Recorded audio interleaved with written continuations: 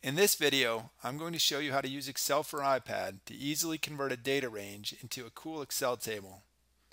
Thanks to investintech.com for allowing us to create this video based on the article they wrote at the URL shown here. Okay, so I'll open Excel for iPad. And the file I want to work on is right here. It's called monthly income. And here it is. And you can see it's just a listing of the months and the expenses and income for each of those months.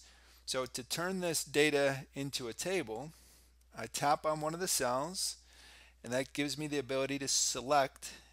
I'll click on the bottom right circle or tap on it, pull down to the right to select all the data. Now I will go to my insert tab up top and you can see I have the option to turn this into a table. And there we have our beautiful table. You can see I now have a table tab on top. I can convert it back to a range or I can choose from different table styles. Let's look at that. Okay, I like this orange one.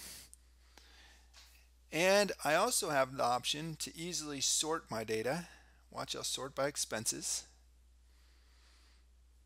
Let's sort in descending order.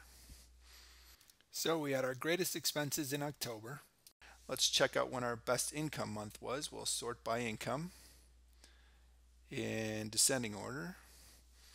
And March was the, day, the month in which we had our greatest income.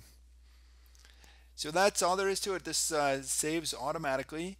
So when I go back to the main page and then open up my monthly income again, you can see it re-downloads it, but it's been saved and it looks the same. So as you can see, Excel for iPad makes it very easy to convert a data range into a table.